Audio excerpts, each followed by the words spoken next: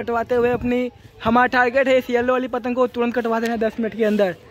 हवा कितनी मस्त फिर का मैन आर्यन के साथ पतंगबाज धीरज भाई रिकॉर्डर जय सिंह। क्या ये पतंग कटेगी दस मिनट के अंदर? हाँ। कटेगी। हाँ, लोगों का टारगेट होता है दस पतंग काटना हमारा टारगेट है पचास पतंग कटवाना। इसलिए हमने अरे और ये भाई साहब इनको हर पतंग कटवाना नहीं है हर पतंग खुद घर ले जाना है पता नहीं क्या करेंगे आज ये। बीवी बत्ती के लिए। बीवी बच्चों के लिए घर ले जाएँगे पतंग उड़ाए। है अपना परिवार। जैसा कि आप देख सकते हैं माहौल। माहौल बहुत ही गर्मा गर्मी का क्योंकि आज धूप बहुत है।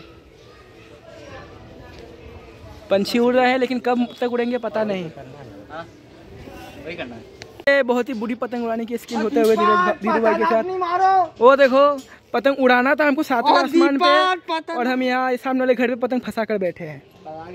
पतंग आ गई पतंग आ गई पतंग आ गई। और ये पतंग फट चुकी है क्या लगता है पता हमारी किस्मत की तरह।